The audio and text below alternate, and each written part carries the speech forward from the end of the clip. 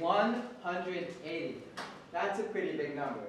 In fact, it's the number of credits that you're required to, or to take to graduate from Portland State University, according to the 2006 2007 PSU Bulletin Catalog. And of those credits, 45 of them must be completed through the University Studies program. Now, this is a big chunk of our, of our education, and I know we hate it, but the unfortunate problem is that these, these classes only count as elective credits. Now, wouldn't it be nice if they could be used towards another minor? I think so. So my speech today will cover the problem with university study courses and what you can do to benefit from this program. So I'll cover a brief re- overview of the University Studies program, what will happen if you strategically plan your junior cluster courses, and what you need to do now. By now, you guys should know a little bit about the program. You're all part of it. The main disadvantage with the University Studies program is that they don't count towards a specific degree, and these credits, if you transfer out, are considered elective credits towards general education. When interviewing Becky Ingersoll, a UAS advisor, I asked her if students knew how to strategically plan their courses. She said that in general, most students know, didn't know that they could. So if you were to map out your junior cluster courses, you are essentially killing two birds with one stone.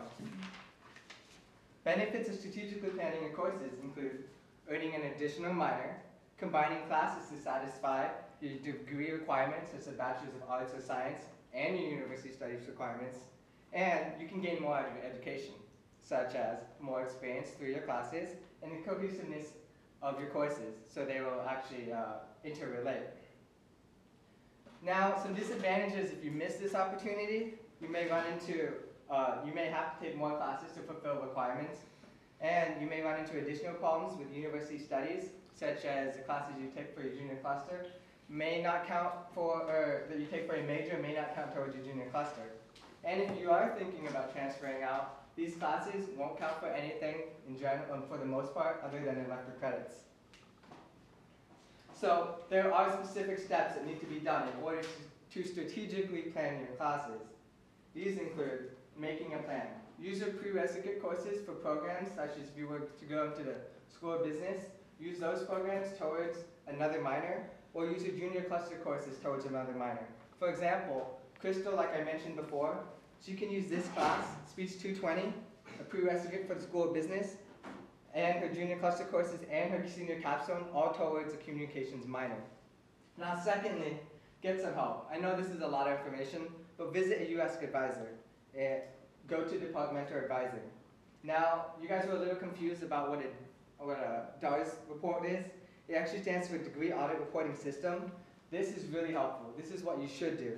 Um, it, will, it will give you a list of courses towards a degree that you're looking for, and it will actually suggest what classes are needed to take. So, this right here is just the first page of mine. And it goes on for several pages, but just to give you a little uh, view of what it looks like.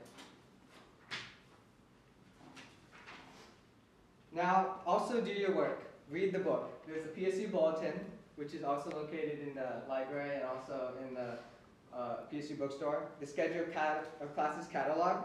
Um, both of those have information where you can find all this, and this is what you need to do is you need to do your research. Now in this in the PSU bulletin, here it shows if you look at it, it shows the requirements of a major. And this is what I would have to pay attention to is to make sure the classes I take for my junior classes don't match up with what's required in my major.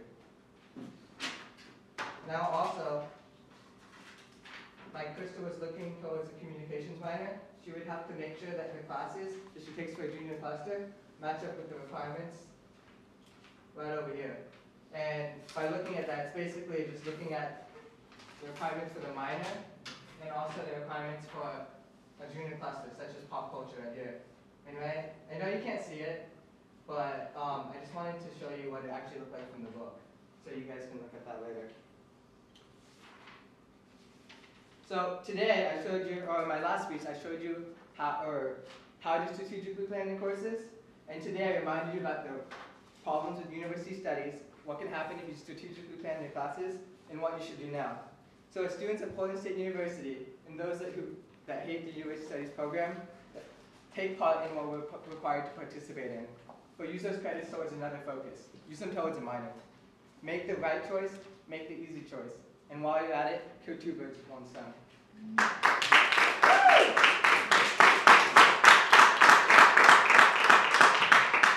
Question? Nope. Nice figurative language.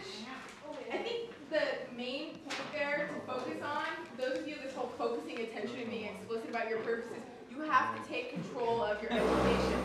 You have to be informed consumers, if you want to use that paradigm, of what you're doing here at PSU.